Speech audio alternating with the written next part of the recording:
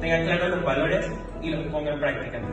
Que sea conciliatorio. Stalin es un pura sangre, escogido entre la manada por su espíritu, una nobleza que debemos imitar para ser mejores personas entre nuestros Stallion es para el estudiante Emanuel Carrasquilla.